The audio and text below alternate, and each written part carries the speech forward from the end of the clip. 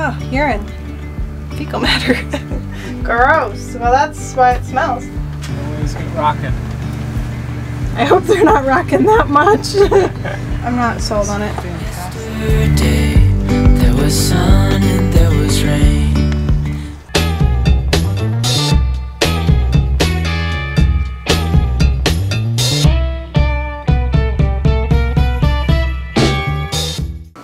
Everyone, welcome back to our channel. We just got back from the Big Island yesterday and we are already on our boat getting things done in our new slip. So I'm going to give you an official tour of our new slip and go through some of the projects first that we're going to be working on in the next couple weeks. So there are a few projects that were inspired from the tiny house that we stayed in on the Big Island. So if you haven't seen that video, go check it out. I did a little tour of the tiny house, but there's some things that that tiny house had that inspired some things for this boat. So the first thing is a composting toilet. We saw a composting toilet at the tiny house and we are going to do a composting toilet one because sometimes the toilet systems here just smell and it's a whole bunch of different pipes and truly the composting toilet there was so awesome that Seth is going to build one for our bathroom. The second thing that was inspired by the tiny house is the color and just the finishes. The finishes of the tiny house were so immaculate that it just really truly made living small really comfortable. So if you notice, the cabinets and all the finishes are just very colorful and very warm and like more inviting and cozy. So the thing I don't like about this boat is so much wood. It's very like old looking. It's from 1977 and that's okay. So if you are someone who loves wood, when you hear what I'm going to say, you're going to probably pass out. So pause this video, go grab a glass of water, and then skip a minute. No, just kidding. You'll be fine. Um, so I'm going to paint. So behind me, you'll notice some of this white here. It's very it's very yellowish so that's the first thing I'm going to paint we have exterior white paint and I'm going to really freshen it up and I think the white will make the wood look really great as well as we're going to get new cushions that I'm working on as well and some pillows and just making this space more homey I think for me making it feel like a home and nesting I'm really excited to get my hands in on it get these cushions get some really fun pillows that I saw at a Hawaiian store nearby so that's that I'll paint this white as well as all of this will be a fresh white. And lastly, the last project that we just did, I'm going to show you right now, is we installed an AC unit. So you can see the stairs right here have quite a bit of space in the back. So we're utilizing that space right now to put the AC unit. So we just plugged it in. It's 88 degrees in here. 88 degrees. I'm still a little, a little sweaty, but Alright, I'm going to give you a tour of the boat slip and let's get going.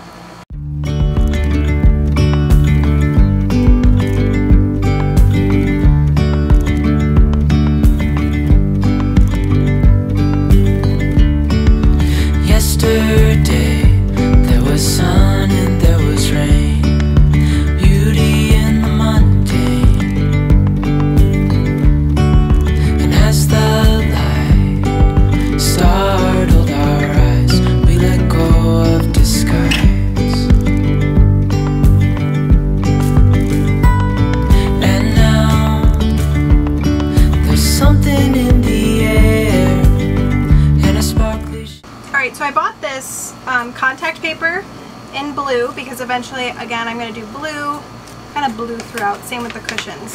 So my next project is to install this. This is going to help it so that when we have glasses and plates, they're not going to skid everywhere if we are selling. It's just going to help. Going to cover some of the spots that are just not so great looking.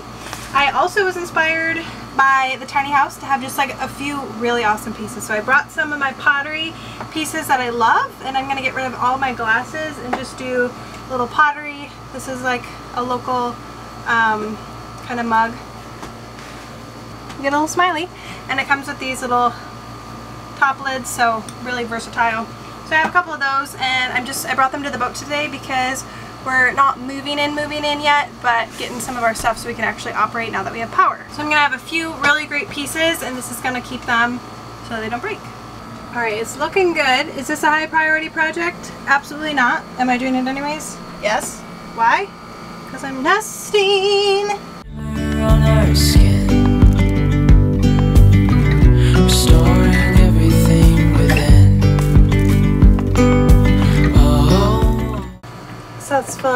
Water tanks with our new hose that we brought.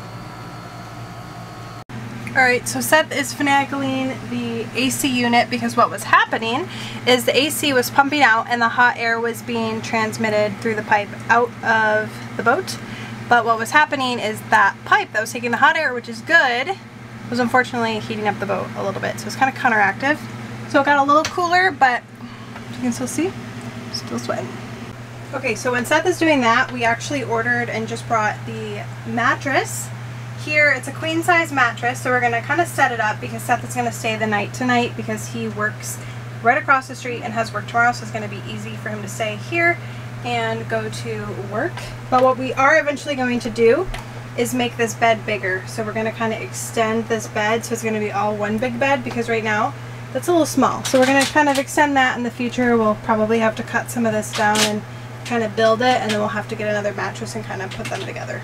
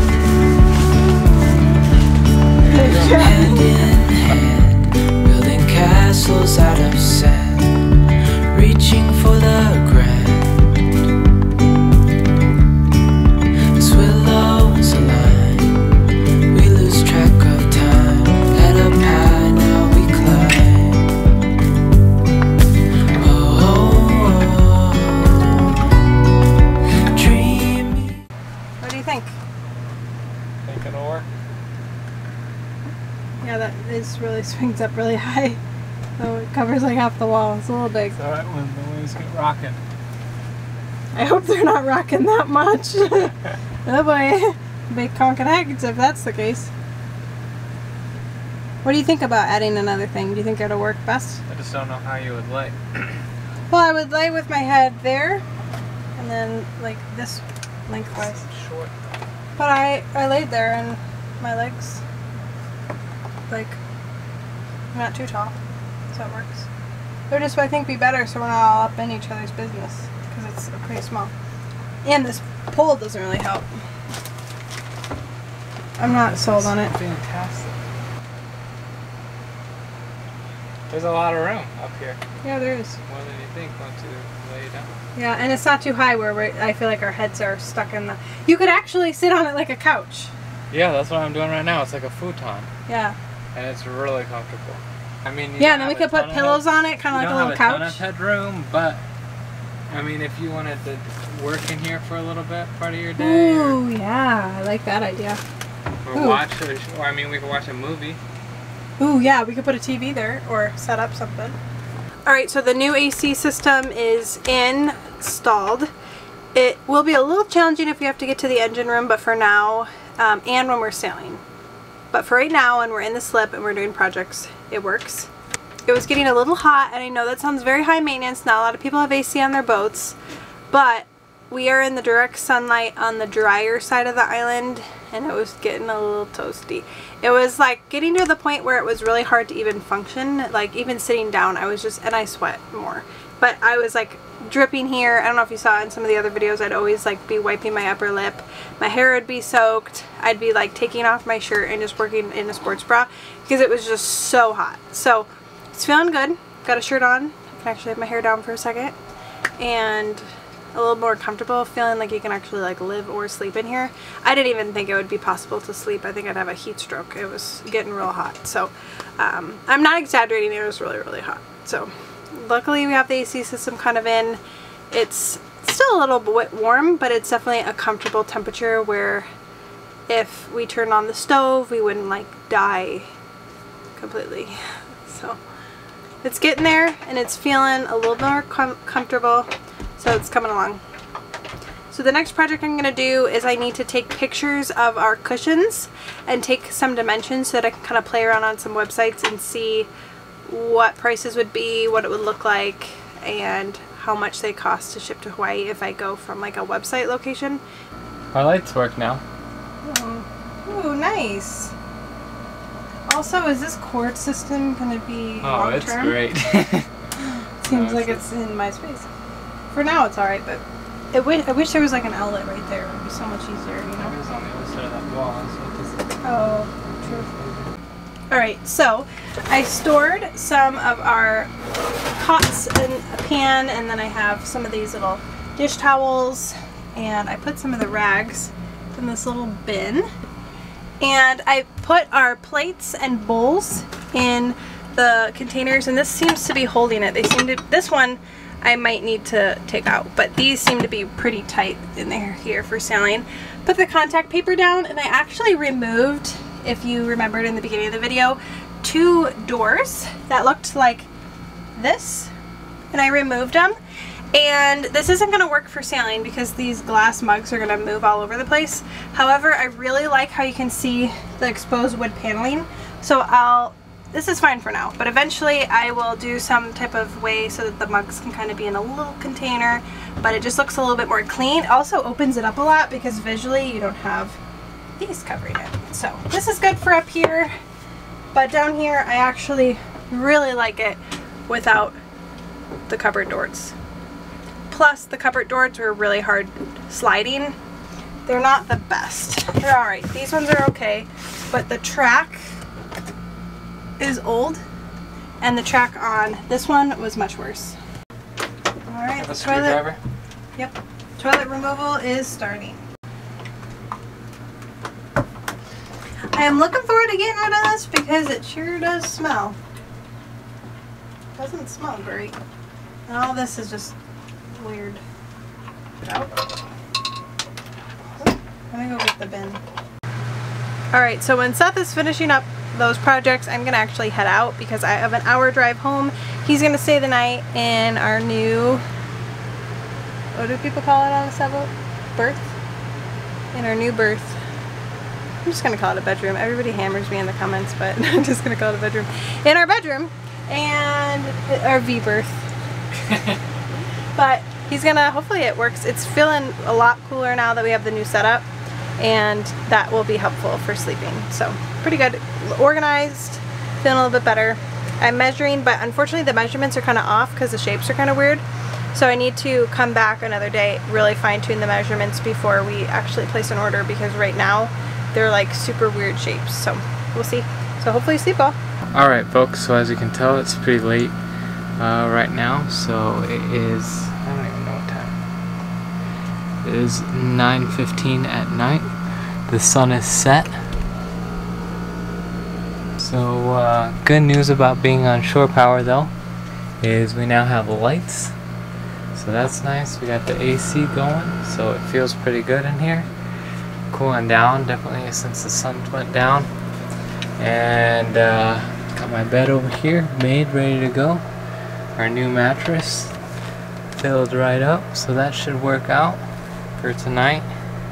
And then I have been finally, I was able to get the toilet out.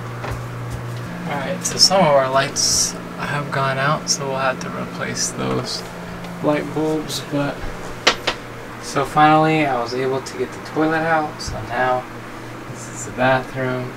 It was one of more disgust that was one of the more disgusting jobs I've done because it was not clean. And it smelled terrible. But cleaned that up and I just got the toilet bowl and the pipes that were going to the toilet um, taken care of, all tackled the holding tank and uh, those pipes um, on another day. So uh, that'll be another day's project. We'll have to move the mattress and get underneath there to get the holding tank and the, some of those pipes out of there um, before we move to the composting toilet. but uh, that's where we're at right now. Um, so now I'm gonna probably uh, make something to eat and just relax a little bit before going to bed and then uh, yeah first night at the boat I mean, we're at the dock, so it's nothing's crazy. so it's pretty chill. And we have power, so that helps too. Hey guys, we just got to the boat. for another day of some projects and I'm gonna run to the store to fill up the propane tank so that we can make our first dinner on the boat and we got here though and it's super windy like we have never seen it here at the marina this windy and so super rocky if you can see the boat's kind of moving a little bit Alright, well the waves are pretty crazy. We put the dinghy up and we did some of those things. I'm going to show you our new life vest that we got. Total suck of a day if that's, if I can say that. I went to go get propane and the guy couldn't get the, the regulator part off, if that's what it's called. So I couldn't get propane, which means we couldn't make dinner. so we need to go do that another day. So we got these. These are from Blue Storm. We got Seth this one. This is at Atmos 40. And then I got this one, which I really like the pattern. It's really hard to see because of the lighting. But we got these. So mine is the Stratus 35. 35 pounds of buoyancy. Seth's is 40.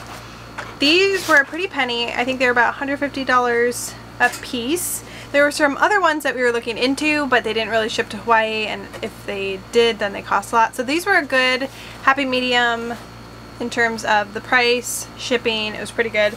So pretty exciting. What is interesting about it though, and what I need to do, is it says on here, warning, device is not armed, read instructions, owner manual, and arm properly prior to use. So I need to read this. I don't think, honestly today kind of was the worst, so I'm not feeling like reading this right now.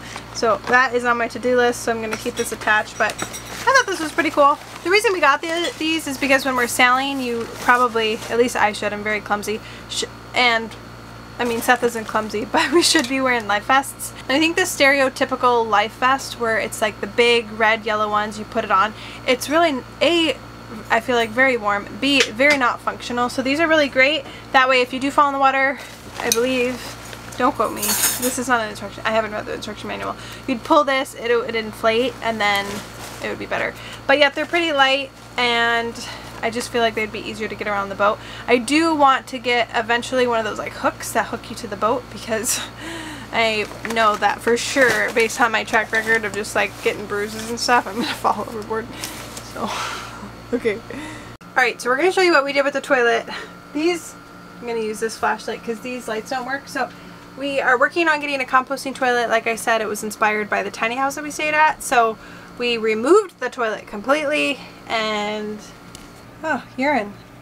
Fecal matter. Gross. Well, that's why it smells. I was not made aware of that. So, this is going to be the new home of the composting toilet. And, yeah, I think this is actually a pretty good height. Your feet can rest comfortably flat. okay. So, we'll need to clean this and tidy that up. Anyways, so we're going to make a really nice enclosed wood toilet area. So that way we can have the bucket there and do the composting, but then at the same time it will be kind of nice looking, not just like a Home Depot bucket.